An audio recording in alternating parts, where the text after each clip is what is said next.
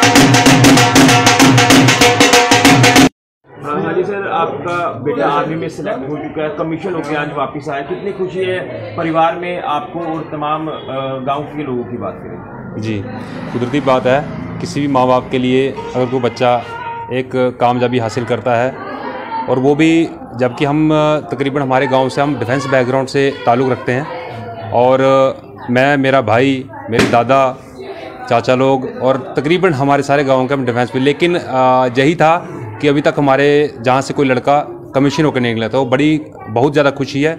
मुझे खुशी है मेरे परिवार को खुशी है हमारे पूरे गाँव को पूरे समाज को बहुत दिल से बहुत ज़्यादा खुशी है। कितनी मेहनत आपके बेटे ने की थी जो आज इस मुकाम पर पहुँचा? तकरीबन बोलते हैं कि पूत के पाँव पालने में कहते हैं जो बचपन से ही ठीक ठाक पढ़ाई में बहुत पढ़ने में काबिल था। तो मैं जब से मैं नई नौकरी करता था तो ये वहीं पर अच्छे स्कूलों में इसको एडमिशन करवाया इसकी पढ़ाई अच्छे स्कूलों से हुई है।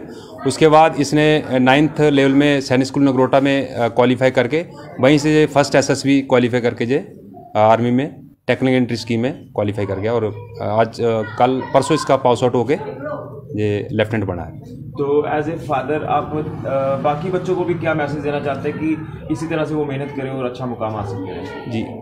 माँ बाप को मैं ये बोलूँगा कि हर बच्चे में कैलिवर है।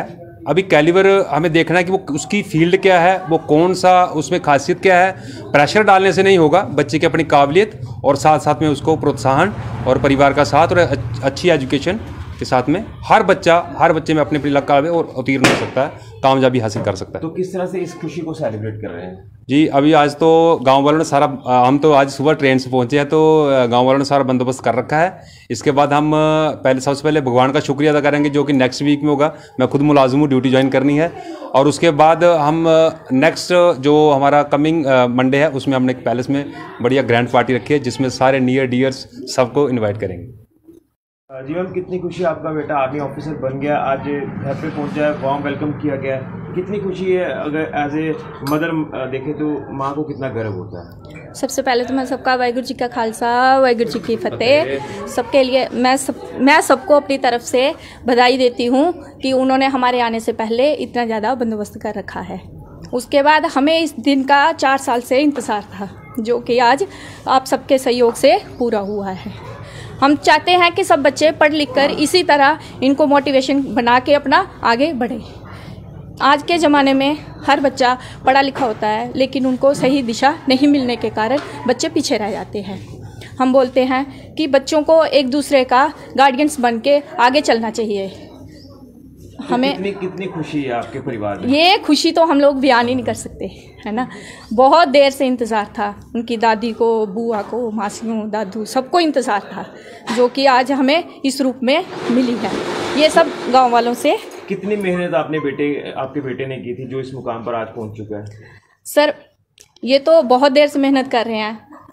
बहुत छोटा था जब सैनिक स्कूल में चला गया था। स्कूल वालों का भी सहयोग है गाँव वालों का भी है। साथ में साथ में जब ये ट्रेनिंग के लिए गया है फ़र्स्ट एस भी इन्होंने क्लियर की है और उसके साथ चार साल से ये मेहनत पे मेहनत किए जा रहा है। हालाँकि बहुत स्ट्रगल आए इनकी लाइफ में लेकिन इन्होंने हर स्ट्रगल को पार किया है। तो आज किस तरह से खुशी सेलिब्रेट कर रहे हैं? आज आपके घर पे खुशी है रौनक है? बिल्कुल सर है। और सबसे पहले हम लोग गुरुद्वारा साहब जाएँगे भगवान जी का शुक्रिया करेंगे। उसके बाद भगवान जी को घर पे भी लेकर आएँगे और उसके बाद उसी तरह से सब कुछ सेलिब्रेशन जैसे जैसे भगवान जी का हुक्म होगा, वैसे वैसे करते जाएँगे सर।